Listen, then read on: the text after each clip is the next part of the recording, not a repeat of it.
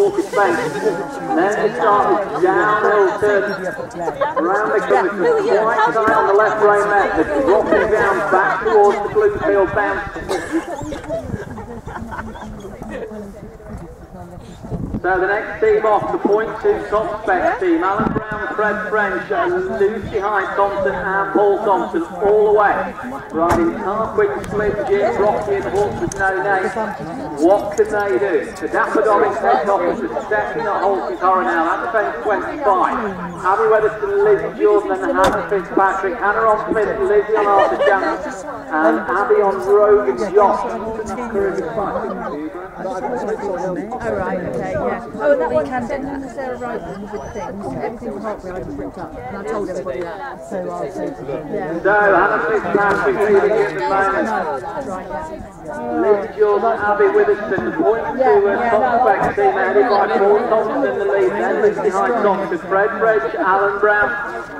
There onto the Benson's property farm, and that's how you ride the water. The Dapper Dobbins head off at the second, Hannah, Lizzie and Abby flying through there.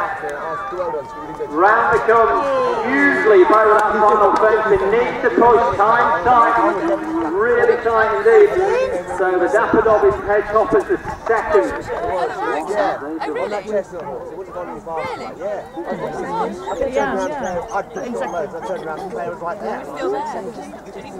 those. I turned around and Claire was like that. Yeah, you're right. Yeah, you're right. You're right. So point to the top spec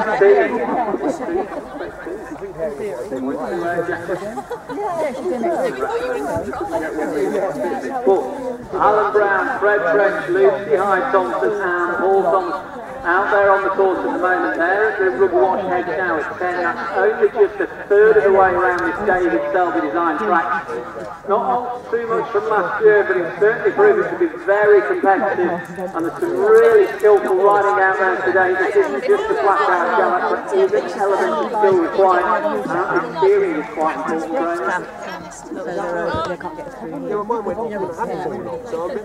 the point two top spec team, Lucy on Rocky, Fred on Slim Jim, Alan on Tarquin, Paul Thompson on the horse with no name. Clear the eye and power take off fence. The pass the pairs flying back. in the first.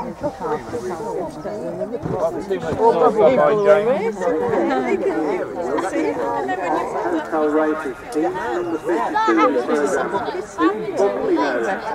Oh, Nicholas. Phil Nicholas, Larry Brown, and Fox Grant. All riders at Hotel. They should be good to watch. They're certainly going to be competitive. The point two top spec team, well, they're going to be pretty competitive as well. They're already over the riders' reach. Then they come to the back four folder. Paul, Lucy, Fred, and Alan making some great progress. And they're easing up the ground here as they come towards us. One of them's just dropping off the back. But looks to be trying to make the ground up. Will slow down as they eventually get to the Harvey Bow at 19. But first of all, they've got to jump this hedge.